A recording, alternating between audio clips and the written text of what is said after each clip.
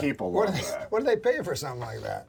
I forgot what USA Today paid me. They paid me though. I, hey, paid you well. USA. I was part of USA Today. I was the second week they started. I was on. I was there 20 years. So you're at the beginning of USA Today and the beginning of CNN. Well, five years in, I was on the fifth anniversary of CNN. I went on 25 and a half. Because the years. first time I remember you was I was a kid and I heard you late at night on Mutual Oh, yeah, Broadcasting. that was the greatest. and it was fascinating. Oh, what a show! Midnight to five in the morning. and you knew everything. That's Every- what. Always great things on that show. How did you know so much? Bill stuff? Cosby would run across the causeway to come on. Danny Kaye did a whole night with me. Danny Kaye, the unbelievable great. Danny Kaye. Where was this uh, set? At Mu- in Arlington, Virginia, right across from the right across from Washington, right across the causeway, little causeway there. And it was uh, it was a tremendous show to do. I had such fun. And then I got CNN, and I was doing both. So I'd be on CNN from nine to ten, and then I'd rush over and be on the radio from twelve to five. Good God. But didn't you I had a like heart attack, and then I reduced the show to three hours, the radio show, and then I, I was making enough money I didn't need both, and I chucked the radio. But I loved that radio show. Oh God! In the middle of the night, open gave it phone that, uh, America. after the well, the guest would be on from twelve to three. I'd do an hour and a half interview, then an hour and a half of phone calls, and then from three to five was open phone America. yeah, it was like People could call play Misty for me. about anything. Yeah, it was like that. You, I would, I'd play music. I'd talk. One guy would talk about the Red Sox. Next guy would talk about the president. And crazy things happened on that show. One night, three in the morning, Bill Clinton, governor of Arkansas, called in, like 20 after three, Wow. to talk about an issue. I got a good story. And then I him. said to him, "What are you doing up at 20 after three? And he said, "Don't ask." I should have known that. We um. We I have a great to, story about him. We What have is to, the story? Yeah. Bill Clinton, the governor of Arkansas, I love Bill. he became the president. I heard about. It. Oh, you read that paper? Yeah, I really love Okay. that. We have to go to commercial. Yeah, we have to. We have to pay the bills. Who's for, who's a sponsor? Are we gonna have a, a sponsor? Pikesville, uh, Nick. Who's? Pikesville Al does not like him. Many people don't. Why doesn't that clock work? Why doesn't that cock work? That No, clock it's- works. my my clock works Oh, this fine. clock It's over my. Your clock. mind is going somewhere, Norm. No, I thought that's what you said. I was trying to. Why? No, iron, iron, iron, horse. What do you say? Iron. Uh, iron. You got it right. Iron. Iron. That clock is set at 10 past 10, and Why? that's because this guy drinks like a fish, and we want to remember, you know, remind him how to drive? To drive, you're supposed to put your hands at 10 and 2. Did you know that?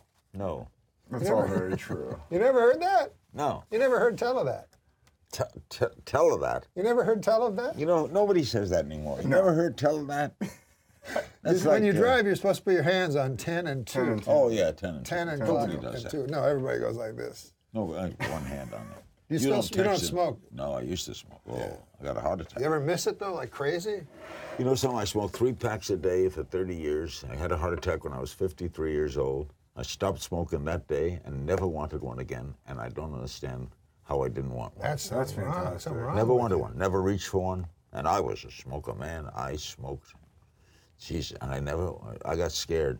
I had a psychiatrist friend said that what happened to me was I. Uh, I got scared straight.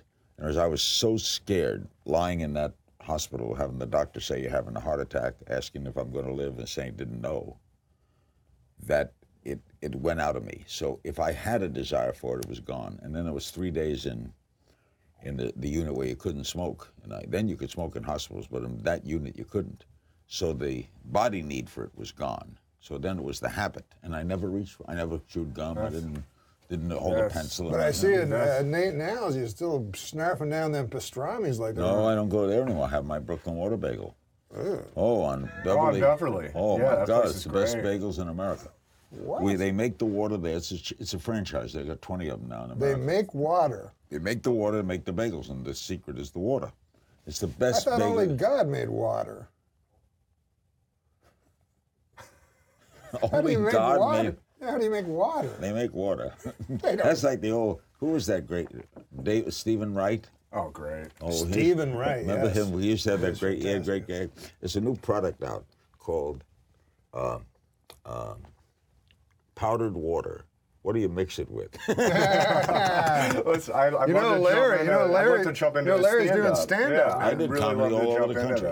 that. I did tell funny stories. I can't wait to hear all about it. So Well, we we, gotta go to a commercial, break, though. we I want to hear all about your your venture into stand-up. Sure. I think that's what I'm most excited I love it. about. All right, so I when love we, making when we come people back, laugh. Yeah, you're hilarious.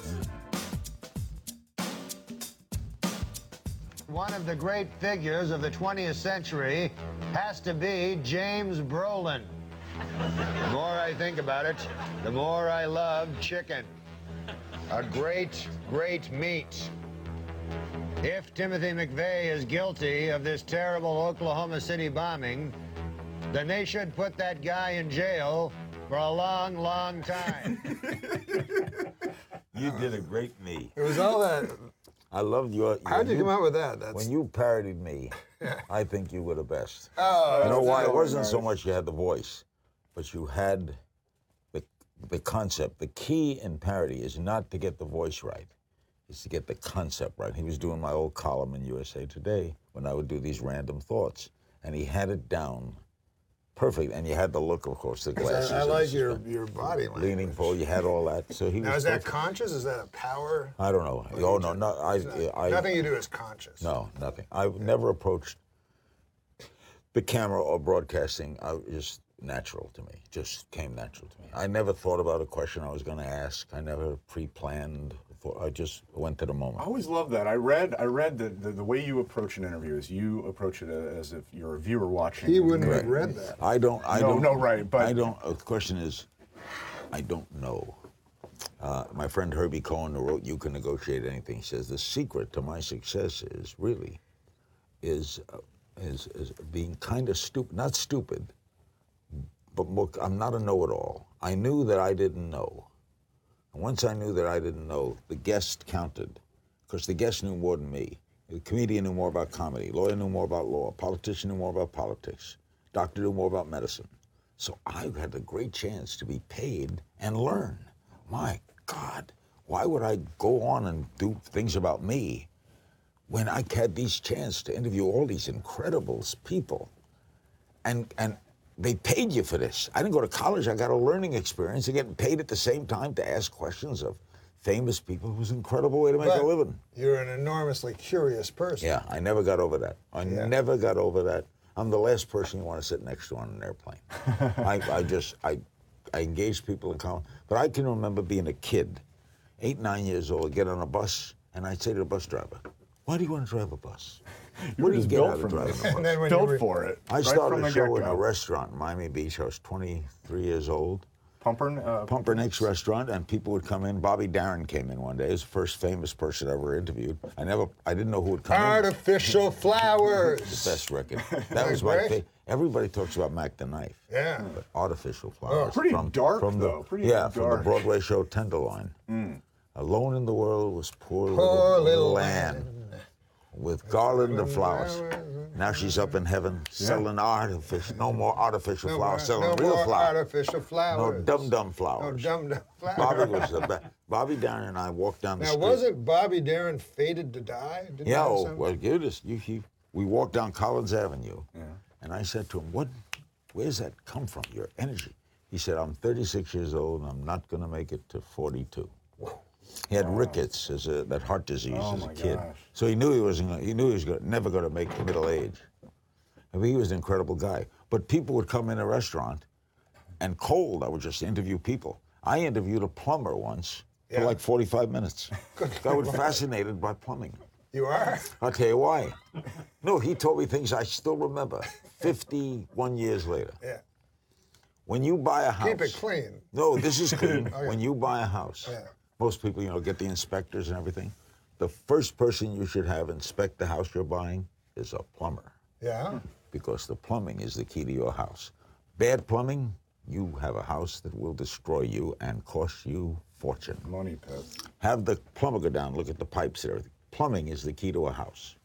I never forgot that. 51 years. She said, and what do you get? What, what was his fascination with making a house work? You know, like, Yeah, yeah. think about it. We take things for granted. Where does the water go when you turn it down the sink? Yes. I don't know. None of that is interesting to me, but that's what, that's why you're so great. Everybody's interesting. Everybody's You, you met. Fred Stoller? He was on a few weeks ago. Fred Stoller. He said everyone's. I love Fred. I was. Who is Fred Stoller? The name sounds like I should know him. No, he's just a guy. But he's He's just the guy. he's saying he's not inter- he, He's so uninteresting that even you wouldn't be interested. I think that's what does Fred Stoller do? No, he's a, he's actually a very funny guy. He's a he's a He wrote. He wrote for um, Seinfeld for a year. Oh, really? Well, that's I think Larry it's David interesting. is the genius of all. I think Oh, yeah. I watch old Seinfeld ex- uh, episodes. They're perfect. I would have to say that the genius that led right into his later shows. The the stories all came together at the end. The, the use of the characters. I just interviewed uh, uh, Louis Dreyfus. Oh yeah, Julia. Julia, and she talked about when they conceived that show and putting it together, and how they would sit and go over the scripts and laugh Yeah. their heads off, and the way they, the way he worked. Larry David is a genius. He's a genius. And Curb he Your started, uh, Enthusiasm. That's Oh, a yeah. great show. is a, did you ever do Curb Your Enthusiasm? no, no. no. I asked if I could do it. Yeah, I did too. I would love to have been on that show. Because all he gave you was a outline. You know, there was no script really. Right. Yeah. He had an outline, rough then you ad libbed it. You know, he You would ever tell watch you. Veep? Oh, I love Veep. I do too. That's why I talked to her about Veep. Subscribe to Norm Burger King.